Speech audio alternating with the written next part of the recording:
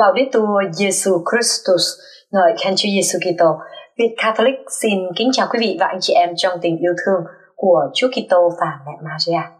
Kim Thúy xin cảm ơn quý vị và anh chị em theo dõi chương trình này. Sau đây là các tin liên quan đến tình hình tại Ukraine. Putin thừa nhận nhược điểm của Hải quân Nga. Tờ Newsweek cho biết như trên trong bài tường trình nhan đề Putin admits Russian Navy's weakness. Xin kính mời quý vị và anh chị em theo dõi bản dịch sang Việt ngữ qua phần trình bày của Kim Thúy. Putin thừa nhận Hải quân Nga dễ bị tổn thương sau khi được cho là đã mất 1 phần 3 hạm đội hắc hải trong cuộc chiến ở Ukraine. Putin cho biết Nga có kế hoạch nâng cấp toàn diện lực lượng hải quân khi Mạc Tư Khoa nỗ lực nhanh chóng xây dựng lại hạm đội vốn đóng vai trò quan trọng trong cuộc xâm lược Ukraine đang diễn ra của ông ta. Putin nói với hãng thông tấn TASS của Nga, để tăng cường khả năng phục hồi chiến đấu của lực lượng hải quân, cần tăng cường lực lượng và đặc biệt chú ý đến việc triển khai nhanh chóng các hệ thống phát hiện mối đe dọa từ xa, bao gồm đặc biệt là các hệ thống điều khiển từ xa. Nhà độc tài Nga chỉ thị cần phải bảo vệ hạm đội của chúng ta khỏi các cuộc tấn công có thể xảy ra ở các căn cứ hải quân và khu vực hoạt động của tàu chúng ta. Phát triển máy bay trinh sát của hạm đội, xây dựng lực lượng và phương tiện tiến hành trinh sát điện tử và tác chiến điện tử. Nhà lãnh đạo độc tài nhấn mạnh rằng Hải quân Nga phải được bảo vệ khỏi các cuộc tấn công từ xa và điều này đòi hỏi phải trang bị các hệ thống hiện đại có khả năng phát hiện những mối đe dọa. Cần lưu ý rằng tất cả những điều nhà độc tài nói, Bộ trưởng Quốc phòng Nga Sergei Shoigu đã từng nói, không có điều gì mới. Nga đang nhận được nhiều tàu chiến và tàu thuyền hơn hàng năm, Putin tuyên bố tại một cuộc họp về đóng tàu. Putin có kế hoạch nâng cấp toàn diện hải quân bao gồm tàu, máy bay và các bộ phận ven biển, cũng như cơ sở hạ tầng của căn cứ, nhằm củng cố vị trí của hải quân tại các khu vực chiến lược quan trọng trên đại dương thế giới và cải thiện đáng kể tiềm năng chiến đấu của hải quân. Rất nhiều việc đã được thực hiện trong lĩnh vực này khi hải quân của chúng ta đang nhận được các tàu mới, Putin nói, và cho biết thêm rằng việc sửa chữa và tân trang sâu rộng các thiết bị đang được tiến hành. Ông tuyên bố rằng hơn 40 tàu và thuyền sẽ được chuyển giao cho Hải quân vào năm 2024 so với 24 tàu được cung cấp vào năm 2023 và 33 chiếc vào năm 2023. Một trong những thách thức mà Mạc Tư Khoa phải đối mặt trong suốt cuộc xung đột là làm sao để tài trợ cho cỗ máy chiến tranh của Putin bất chấp làn sóng trừng phạt quốc tế. Đầu tháng 6, Mỹ và các đồng minh đã tuyên bố một loạt biện pháp trừng phạt mới nhằm vào các tổ chức tài chính và cá nhân Nga có liên quan đến họ. Tổng thống Ukraine Volodymyr Zelensky hôm thứ Năm 27 tháng 6 đã tới Brussels để ký các thỏa thuận an ninh với Liên minh Âu Châu, nơi sẽ cam kết tiếp tục cung cấp viện trợ quân sự cho Kyiv trong tương lai gần. Diễn biến này xảy ra khi một nhà ngoại giao cao cấp của Nga cảnh báo Mỹ nên chú ý đến các kế hoạch tiềm năng của Mạc Tư Khoa nhằm thay đổi học thuyết hạt nhân cho phù hợp với những thay đổi trong quan hệ quốc tế. Thứ trưởng Ngoại giao Sergei Ryabko nói với thông tấn xã quốc doanh Izvestia rằng, Mạc Tư Khoa không loại trừ khả năng hạ cấp quan hệ ngoại giao với các cường quốc phương Tây do bị cáo buộc có thái độ bài Nga. Ryabko ủng hộ khẳng định của Putin rằng học thuyết hạt nhân của Nga đang được đánh giá lại Ông nói rằng học thuyết này được tạo ra trong một thời đại khác và hoàn cảnh khác.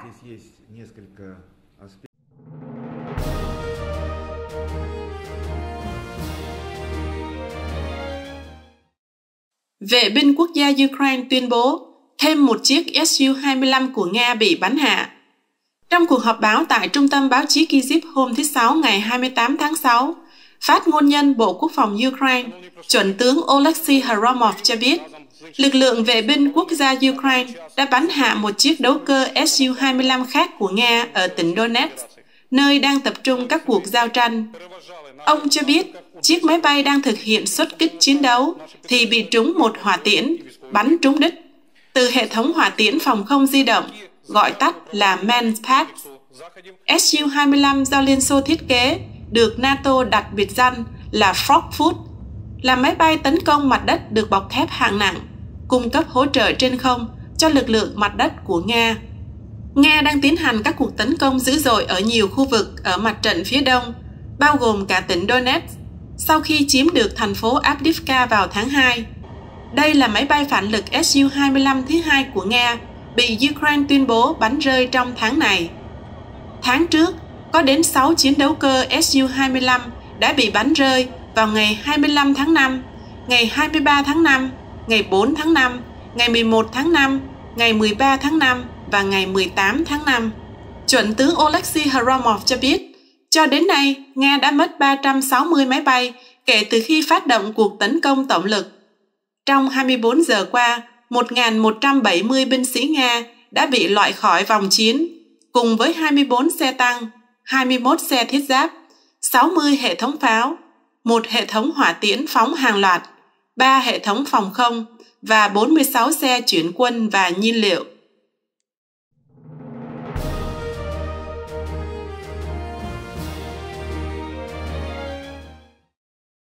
Đồng minh NATO của Putin dường như có cuộc trò chuyện sôi nổi với Zelensky tại hội nghị thượng đỉnh. Tờ Newsweek cho biết như trên, trong bài tường trình nhan đề, Putin's NATO ally appears to have animated chat with Zelensky at summit. Xin kính mời quý vị và anh chị em theo dõi bản dịch sang Việt ngữ qua phần trình bày của Kim Thúy. Một cuộc trao đổi nhanh được ghi lại trên video giữa Tổng thống Ukraine Volodymyr Zelensky và Thủ tướng Hung Gia Lợi Viktor Orbán trong hội nghị thượng đỉnh Hội đồng Âu Châu hôm thứ Năm 27 tháng 6 đã dẫn đến suy đoán về những gì đã được nói. Cuộc trò chuyện diễn ra tại trụ sở Liên minh Âu Châu ở Brussels, Bỉ như một phần của hội nghị thượng đỉnh kéo dài hai ngày diễn ra vào thứ Năm và thứ Sáu. Các nhà lãnh đạo Liên hiệp Âu Châu đề cập đến cuộc chiến tranh xâm lược của Nga chống lại Ukraine và cách cung cấp thêm hỗ trợ quân sự cho quốc gia bị tạm chiếm, bao gồm cả đạn dược và hỏa tiễn. Những người tham dự cũng dự kiến thảo luận về việc sử dụng tài sản bị phong tỏa của Nga để giúp tái thiết Ukraine. Ukraine đang được xem xét gia nhập Liên hiệp Âu Châu vào ngày 1 tháng 7. Hung Gia Lợi sẽ bắt đầu nhiệm kỳ chủ tịch kéo dài 6 tháng của Hội đồng Liên minh Âu Châu. Đoạn phim cho thấy Âu Bán đến gần Zelensky. Tổng thống Ukraine đứng dậy chào người Âu Bán và bắt tay ông. Đoạn clip được lan truyền có thời lượng 28 giây. Sau đó hiển thị qua lại cả hai nói chuyện với nhau sử dụng cử chỉ tay. Có thể thấy Zelensky hơi lắc đầu trước những gì Orbán nói. Theo hãng tin Prada của Ukraine, cuộc đàm thoại diễn ra sau khi Ukraine ký các thỏa thuận an ninh với Liên hiệp Âu Châu, cũng như với Lithuania và Estonia. Orbán vẫn là một trong số ít đồng minh của Putin trong tổ chức Hiệp ước Bắc Mỹ gọi tắt là NATO. Tuần trước, Orbán cho biết trong một cuộc phỏng vấn trực tiếp với đài phát thanh Kossuth của Hung Gia Lợi rằng ông sẽ không ủng hộ các hoạt động của khối NATO nhằm hỗ trợ Ukraine, nhưng cũng không tích cực chống đối. Đó là một phần của thỏa thuận mà ông cho biết ông đã ký với NATO. Oban cho biết, tôi đã đồng ý với Tổng thư ký NATO. NATO sẽ thực hiện một sứ mệnh quân sự ở Ukraine, nhưng Hung Gia Lợi sẽ không tham gia vào sứ mệnh đó, thậm chí không cung cấp tiền, Oban nói. Tuy nhiên, Oban bất ngờ chỉ trích quân đội của Putin trong các bình luận vào tháng trước. Ông nói trong một cuộc phỏng vấn trên đài phát thanh riêng vào tháng 5 rằng cuộc chiến do Putin phát động ở Ukraine vào ngày 24 tháng 2 năm 2022 có thể đã bị Nga đánh giá thấp. Orbán nói, nếu người Nga đủ mạnh để đánh bại người Ukraine trong một đòn, thì họ đã bị đánh bại. Nhưng đó không phải là những gì chúng ta đang thấy. Khoảng hai tuần trước, Orbán đã gặp Donald Trump Jr. tại Budapest trong khuôn khổ cuộc thảo luận về cách cải thiện quan hệ Mỹ-Hung gia lợi nếu Donald Trump tái đắc cử. Orbán và Trump vẫn là đồng minh địa chính trị thân thiết sau nhiệm kỳ tổng thống của ông. Một quan chức cao cấp của cơ quan chính sách đối ngoại của Liên hiệp Âu Châu được cho là đã nói với European Prada rằng ông coi thành công lớn nhất của Ukraine trong thỏa thuận song phương với Liên hiệp Âu Châu là nó đã được ký kết bất chấp quan điểm của Hung gia lợi.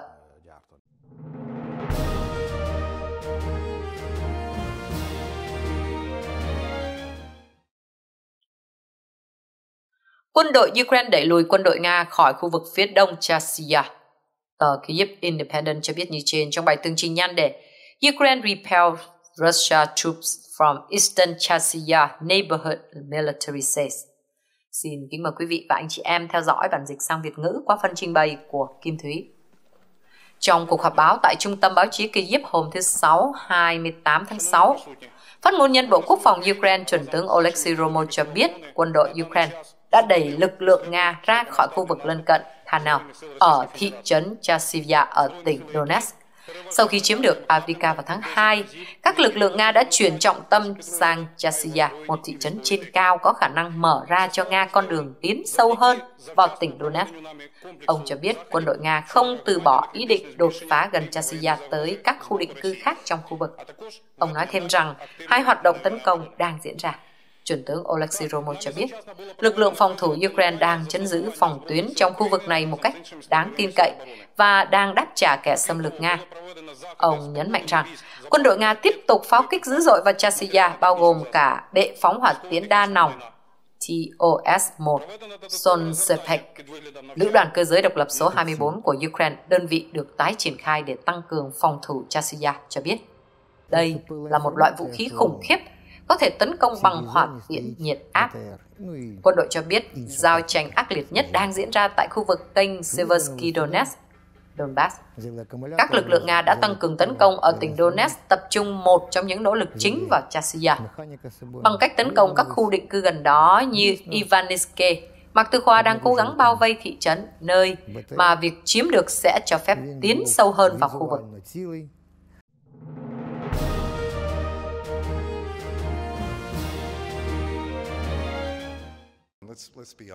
Mỹ, Nga chuẩn bị đụng độ tại Hội đồng Bảo an Liên Hiệp Quốc về lệnh cấm vận vũ khí Bắc Hàn.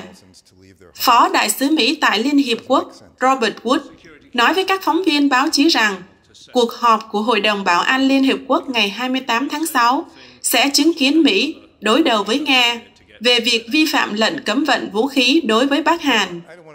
Bình Nhưỡng từ năm 2006 đã bị Liên Hiệp Quốc cấm nhập khẩu và xuất khẩu vũ khí.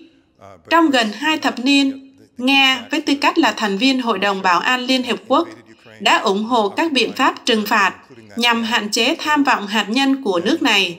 Nhưng đối mặt với việc giảm dự trữ quân sự và năng lực sản xuất, đồng thời bị cản trở bởi các lệnh trừng phạt của phương Tây kể từ khi phát động cuộc xâm lược toàn diện vào Ukraine, Nga ngày càng quay sang Bắc Hàn Dữ liệu thương mại nội bộ mới của Nga mà Washington Post thu được cho thấy Nga có thể đã nhận được 1,6 triệu quả đạn pháo từ Bắc Hàn trong vòng 6 tháng và Mỹ trước đó đã cáo buộc Mạc Tư Khoa bắn hỏa tiễn đạn đạo của Bắc Hàn vào Ukraine. Mối quan hệ giữa Mạc Tư Khoa và Bình Nhưỡng đã được củng cố vào tuần trước khi Putin gặp nhà độc tài Bắc Hàn Kim Chính Ân để ký thỏa thuận phòng thủ chung giữa hai nước. Wood cho biết Washington sẽ đối đầu với Nga về vấn đề này tại cuộc họp của Hội đồng Bảo an Liên Hiệp Quốc vào ngày 28 tháng 6. Đây sẽ là mối lo ngại lớn đối với toàn bộ cộng đồng toàn cầu, Wood nói, đồng thời cáo buộc Nga về cơ bản đứng về phía một quốc gia bất hảo để vi phạm vô số nghị quyết của Hội đồng Bảo an Liên Hiệp Quốc. Ông nói, đây là điều chưa từng có và chúng ta cần phải lên tiếng rõ ràng về nó. Ông Wood cho biết Vấn đề này cũng sẽ được nêu ra với Trung Quốc để xem Bắc Kinh nói gì về sự hợp tác quân sự ngày càng tăng giữa Bắc Hàn và Nga. Ông nói thêm, họ không thể coi đây là một diễn biến tích cực.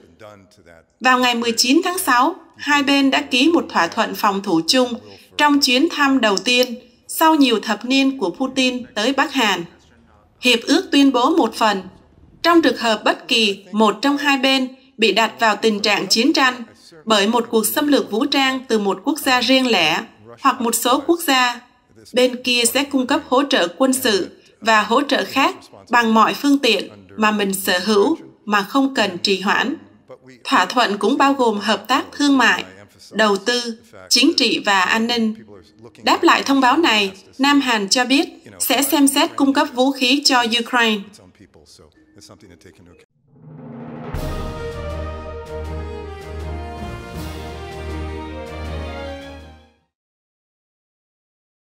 Putin bị giáng hai cú liên tiếp ở Âu Châu. Tờ Newsweek cho biết như trên trong bài tường trình nhan đề, Putin deal a double blow in Europe. Xin kính mời quý vị và anh chị em theo dõi bản dịch sang Việt ngữ qua phần trình bày của Kim Thúy. Hai cơ quan quốc tế trong cùng một ngày đã cáo buộc Nga thực hiện tội ác chiến tranh và vi phạm nhân quyền ở Ukraine.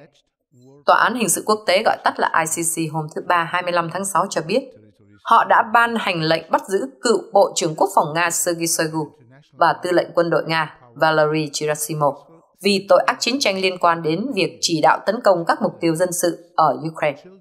Cùng ngày, Tòa án Nhân quyền Âu Châu gọi tắt là ECHR cho biết Mạc Tư Khoa đã vi phạm nhân quyền ở Crimea trong suốt một thập niên kể từ khi bắt đầu xâm lược bất hợp pháp bán đảo này vào tháng 2 năm 2014. Trong khi đó, một luật sư của một nhóm nhân quyền quốc tế đưa ra một báo cáo nêu bật cách lực lượng của Putin đã sử dụng chiến thuật bỏ đói trong cuộc bao vây thành phố Mariupol phía Nam vào năm 2022. Cô nói với Newsweek rằng thực phẩm và các vật dụng thiết yếu để sinh tồn đã và đang được vũ khí hóa trong suốt cuộc xung đột của Nga. Trong tuyên bố đưa ra hôm thứ Ba, các thẩm phán ICC cho biết có cơ sở cho thấy các nghi phạm phải chịu trách nhiệm về các cuộc tấn công bằng hỏa tiễn nhắm vào các cơ sở hạ tầng điện của Ukraine. Từ ngày 10 tháng 10 năm 2022 cho đến ít nhất là ngày 9 tháng 3 năm 2023. Hội đồng An ninh Nga, nơi Shoigu hiện đứng đầu, gọi lệnh bắt giữ của ICC là bốc đồng vì thẩm quyền của tòa án không bao gồm Nga và là một phần của cuộc chiến tranh hỗn hợp của phương Tây chống lại Nga. Báo cáo của ICC đã chỉ trích nặng nề Shoigu và Chirasimo, cáo buộc hai người này gây ra những tổn hại ngẫu nhiên cho dân thường và làm hư hại các đối tượng dân sự cũng như các hành động vô nhân đạo. Đây là những hành vi nghiêm trọng vi phạm quy chế Roma đã thành lập tòa án ở La Haye, dựa vào 124 thành viên của mình để bắt giữ bất kỳ ai bị truy nã. Đây là cáo buộc tội ác chiến tranh mới nhất liên quan đến Putin và giới thân cận của ông. Vào tháng 3 năm 2023, ICC đã ban hành lệnh bắt giữ Putin với cáo buộc bắt cóc trẻ em từ Ukraine, một cáo buộc mà Mạc Tư Khoa đã bác bỏ. Trong tháng này, nhóm tuân thủ nhân quyền toàn cầu gọi tắt là GRC đã công bố một báo cáo chứng minh rằng lực lượng Nga đã bỏ đói người Ukraine ở thành phố Mariupol phía Nam trong cuộc bao vây kéo dài đến ngày 20 tháng 5 năm 2022. Dựa trên những hình ảnh vệ tinh, các hình ảnh tại hiện trường, các video, những tuyên bố công khai và dữ liệu kỹ thuật số, nhóm này kết luận rằng lực lượng Nga đã tấn công vào nước, thực phẩm và thiết bị y tế trong một chiến thuật có chủ ý nhằm gây chết đói trước khi chiếm thành phố cảng. GRC phát hiện ra rằng 450.000 dân thường đã trở thành mục tiêu bị cắt toàn bộ nguồn cung cấp nước, điện và khí đốt. Người Ukraine buộc phải uống nước từ những vũng nước và từ tuyết tan, trong khi các điểm phân phát thực phẩm, cơ sở y tế và hành lang nhân đạo bị ném bom. Naomi Podu, đồng tác giả báo cáo và luật sư của GRC trong nhóm công lý lưu động về nạn đói cho biết. Điều gây sốc nhất là những phát hiện cho thấy chiến lược mà các lực lượng Nga theo đuổi là bỏ đói dân thường như một phương tiện để đẩy nhanh quá trình chiếm Mariupol.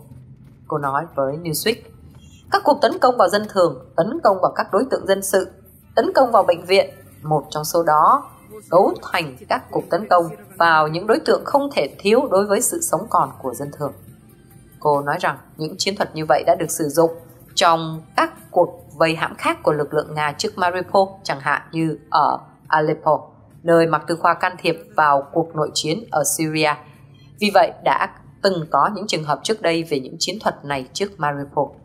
Cô nhấn mạnh rằng có những dấu hiệu rõ ràng cho thấy các lực lượng Nga và thân Nga đã sử dụng các chiến thuật bao vây và chiến thuật gây đói khát tương tự ở các khu vực phía đông bắc gần như cùng thời điểm với cuộc bao vây Mariupol.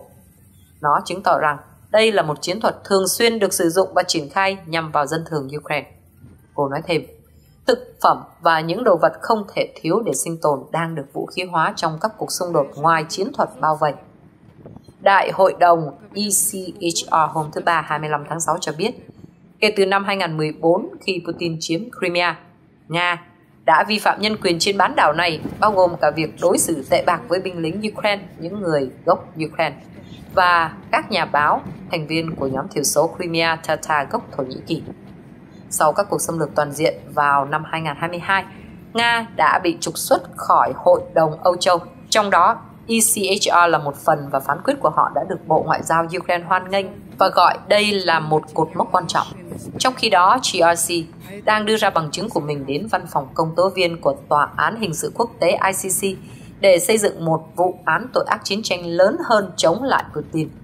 Produn nói rằng, tương tự như tội diệt chủng, tội ác bỏ đói nhằm mục đích cụ thể là tấn công các nhu cầu không thể thiếu đối với sự sống còn của dân thường và mục đích cụ thể là để bỏ đói dân số đó. Đó là một vấn đề nghiêm trọng cao hơn. Cô nói, theo chính sách đó, Nếu các lực lượng Nga hoặc thân Nga biết rằng trong diễn biến bình thường của các sự kiện, dân thường sẽ chết đói, điều đó được coi là có chủ ý. Cô nhấn mạnh rằng chưa bao giờ có vụ truy tố tội ác chiến tranh gây ra nạn đói trước các tòa án quốc tế. Đó là một tội ác bị đánh giá thấp và rất khó để chứng minh.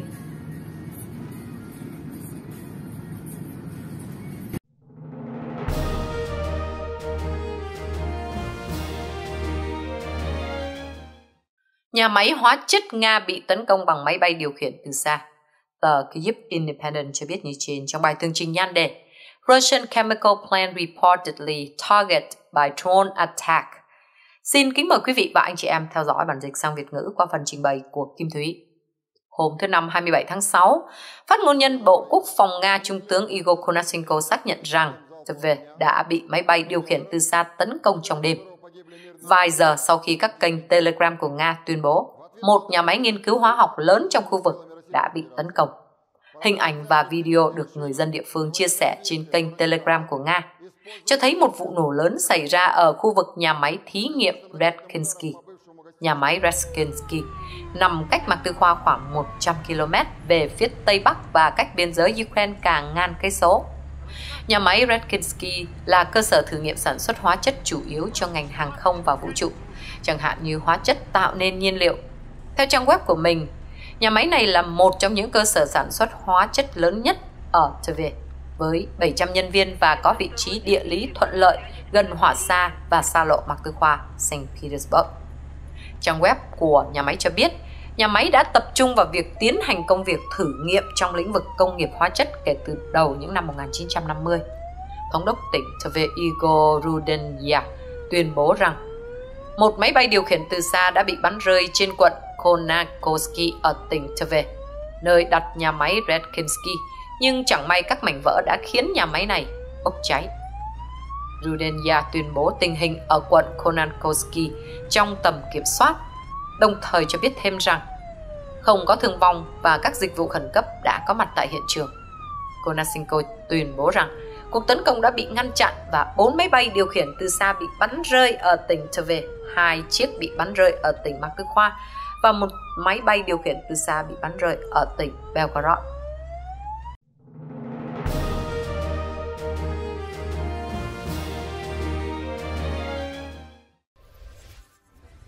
Hai người chết, hai người bị thương sau vụ pháo kích của Nga vào Kurakhov. Trong cuộc họp báo tại Trung tâm Báo chí Kyiv chiều thứ Sáu ngày 28 tháng 6, phát ngôn nhân Cảnh sát Quốc gia Ukraine, Đại úy Aliola Liuslitska cho biết, quân đội Nga đã bắn vào thị trấn Kurahov ở tỉnh Donetsk bằng bệ phóng hỏa tiễn Uragan vào ngày 27 tháng 6, khiến hai người thiệt mạng và hai người khác bị thương. Kurakhov nằm ở phía tây Donetsk bị Nga tạm chiếm. Trong bản cập nhật mới nhất của Bộ Tổng tham mưu Ukraine, khu vực này là một trong những điểm nóng nhất trên chiến trường, với 18 cuộc tấn công của Nga trong ngày qua. Hai cuộc giao tranh vẫn đang tiếp diễn. Filashkin cho biết, một phụ nữ và một người đàn ông đều 40 tuổi đã thiệt mạng trong vụ tấn công, trong khi hai người nữa phải đưa vào bệnh viện vì bị thương. Cô cho biết thêm, quy mô thiệt hại đang được xác định. Các khu định cư ở tỉnh Donetsk hứng chịu các cuộc tấn công hàng ngày của Nga do nằm gần tiền tuyến. Giao tranh ác liệt vẫn tiếp diễn ở tỉnh Donetsk khi Nga tìm cách chiếm toàn bộ khu vực. Các cuộc tấn công của Nga vào các thị trấn Torets, Selidov và làng Yasenov trong khu vực hôm 27 tháng 6 đã khiến một thường dân thiệt mạng và 7 người khác bị thương. Filashkin đưa tin учасників організованої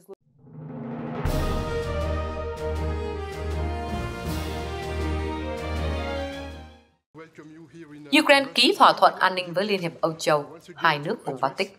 Tổng thống Volodymyr Zelensky đã ký một thỏa thuận an ninh với Liên minh Âu Châu vào hôm thứ Năm 27 tháng 6 trong một hội nghị thượng đỉnh các nhà lãnh đạo Liên hiệp Âu Châu tại Brussels. Văn bản này được ký bởi Chủ tịch Hội đồng Âu Châu Charles Michel và Chủ tịch Ủy ban Âu Châu Ursula von der Leyen đến phía Liên hiệp Âu Châu. Theo tài liệu, Ukraine cam kết cải cách trên con đường hướng tới Liên hiệp Âu Châu, bao gồm cả về an ninh, tình báo và quốc phòng. Ukraine cũng phải tăng cường các biện pháp minh bạch và trách nhiệm giải trình liên quan đến hỗ trợ nhận được cũng như đóng góp vào an ninh của Liên hiệp Âu Châu. Charles Michel cho biết Liên hiệp Âu Châu cam kết tiếp tục hỗ trợ việc cung cấp thiết bị quân sự sát thương và không sát thương, cũng như huấn luyện cho Ukraine thông qua cơ sở hòa bình Âu Châu và quỹ hỗ trợ Ukraine. Theo thỏa thuận an ninh, quỹ hỗ trợ Ukraine sẽ có ngân sách 5 tỷ euro hay 5,3 tỷ Mỹ Kim cho năm 2024. Cho đến nay, Liên hiệp Âu Châu và các quốc gia thành viên đã hỗ trợ 108 tỷ euro hay gần 116 tỷ Mỹ Kim cho Ukraine, bao gồm 39 tỷ euro hay gần 42 tỷ Mỹ Kim hỗ trợ quân sự. Ông nói tiếp rằng, mức tăng hàng năm tương đương có thể được dự tính cho đến năm 2027 dựa trên nhu cầu của Ukraine và tuân theo hướng dẫn chính trị của Hội đồng Liên minh Âu Châu. Liên minh Âu Châu sẽ tiếp tục cung cấp đào tạo cho các lực lượng an ninh và quốc phòng của Ukraine, đặc biệt thông qua phái bộ hỗ trợ quân sự của Liên hiệp Âu Châu cho Ukraine và mở rộng hợp tác giữa các ngành công nghiệp quốc phòng của Liên hiệp Âu Châu và Ukraine. Ông nhấn mạnh rằng, sự hợp tác mạnh mẽ hơn với ngành công nghiệp quốc phòng Ukraine sẽ góp phần tăng cường khả năng tự vệ của Ukraine và sẽ mang lại lợi ích cho khả năng của ngành công nghiệp quốc phòng Âu Châu trong việc hỗ trợ nhu cầu của cả các quốc gia thành viên và Ukraine.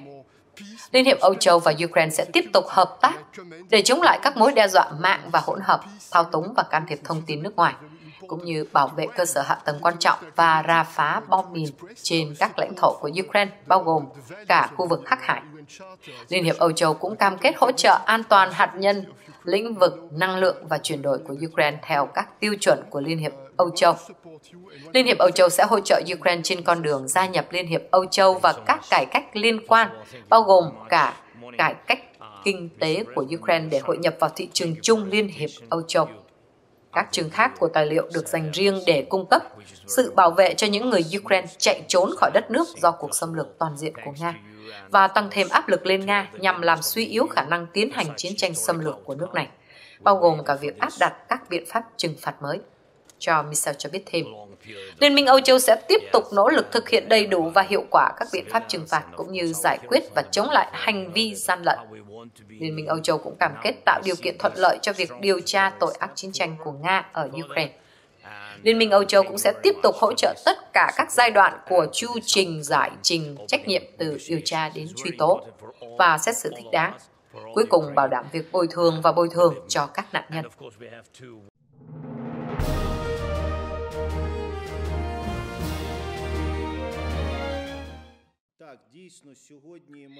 Ukraine ký thỏa thuận an ninh dài hạn với Estonia, Lithuania. Văn phòng Tổng thống Ukraine đưa tin Kyiv đã ký các thỏa thuận an ninh song phương 10 năm với Estonia và Lithuania tại hội nghị thượng đỉnh Brussels hôm thứ Năm 27 tháng 6. Ông Andriy Yimak, tránh văn phòng của Tổng thống Ukraine Volodymyr Zelensky cho biết như trên. Ông cho biết, hai quốc gia đã cùng với 17 quốc gia, trong đó có Mỹ, Anh, Đức và Pháp ký các hiệp ước song phương tương tự để giúp Kyiv đẩy lùi sự xâm lược của Nga. Các thỏa thuận này dựa trên cam kết của nhóm 7 cường quốc trên thế giới, thường được gọi là G7 vào tháng 7 năm ngoái. Trước đó, cùng ngày, Kyiv cũng đã ký thỏa thuận an ninh với Liên minh Âu Châu. Andriy Yermak nhấn mạnh rằng, theo các thỏa thuận, Tallinn và Vilnius sẽ cung cấp cho Ukraine hỗ trợ tài chính và quân sự lâu dài. Theo thỏa thuận, Estonia dự kiến sẽ cung cấp cho Ukraine viện trợ quốc phòng trị giá hơn 100 triệu euro, tức 107 triệu Mỹ Kim trong năm nay và sẽ phân bổ ít nhất 0,25% tổng sản phẩm quốc nội GDP hàng năm cho hỗ trợ quân sự trong giai đoạn 2024-2027. Tài liệu nêu ra một số thành phần nhất định của hỗ trợ quân sự dài hạn, bao gồm các loại vũ khí do Estonia cung cấp như pháo, hỏa tiễn, chống tăng, súng trường, hệ thống điều khiển từ xa và thiết bị tác chiến điện tử. Kyiv và Tallinn cũng sẽ tiến hành đối thoại chiến lược thường xuyên để thảo luận về các vấn đề an ninh và quốc phòng ở cả hai nước. Hai quốc gia cũng dự kiến sẽ tăng cường hợp tác sâu sắc hơn trong lĩnh vực tổ hợp công nghiệp quân sự. Theo hiệp ước, Vilnius sẽ đặt mục tiêu phân bổ 0,25% GDP hàng năm để hỗ trợ an ninh và quốc phòng của Ukraine và sẽ tiếp tục cung cấp viện trợ nhân đạo.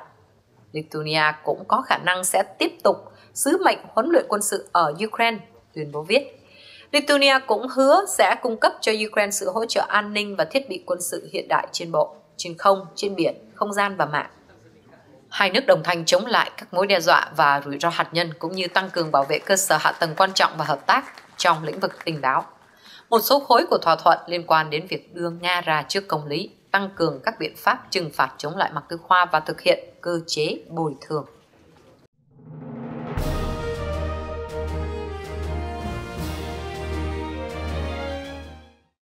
Bản tin tình báo của Cục Tình báo Bộ Quốc phòng Vương quốc Anh Trong bản tin tình báo mới nhất được công bố hôm thứ Sáu ngày 28 tháng 6, Cục Tình báo Bộ Quốc phòng Vương quốc Anh đã đưa ra các nhận định liên quan đến tác động của các cuộc tấn công của Ukraine nhằm vào các cơ sở máy bay điều khiển từ xa của Nga.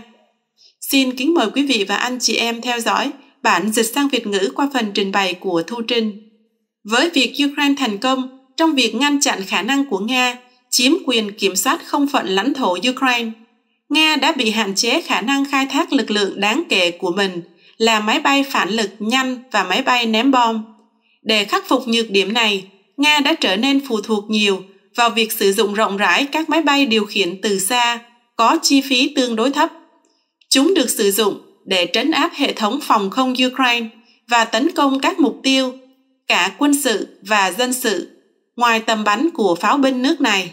Vào ngày 21 tháng 6 năm 2024, Hải quân Ukraine và Cơ quan An ninh Ukraine báo cáo rằng họ đã tấn công trung tâm huấn luyện phòng không số 726 của Nga tại sân bay Yis của Nga. Căn cứ này là một trong ít nhất 5 căn cứ mà Nga tiến hành các cuộc tấn công bằng máy bay điều khiển từ xa nhằm vào Ukraine. Cuộc tấn công này được tường trình đã phá hủy 120 máy bay không người lái thuộc nhiều loại khác nhau và làm bị thương 9 nhân sự.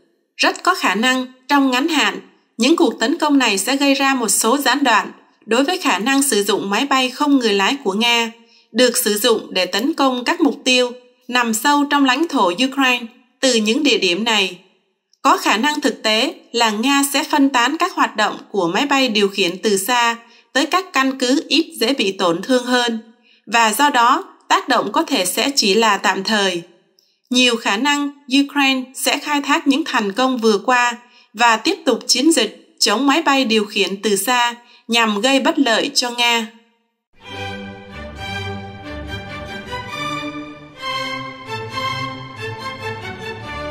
Chương trình của chúng tôi đến đây là hết. Xin quý vị và anh chị em thêm lời cầu nguyện cho anh chị em Ukraine đang trải qua những giờ khắc thử thách và khó khăn và xin cầu nguyện cho linh hồn những người của cả hai bên đã thiệt mạng trong cuộc chiến. Xin cảm ơn và hẹn gặp lại quý vị và anh chị em trong lần phát hình tới. Laudetur Jesus Christus, ngợi khen Chúa Giêsu Kitô.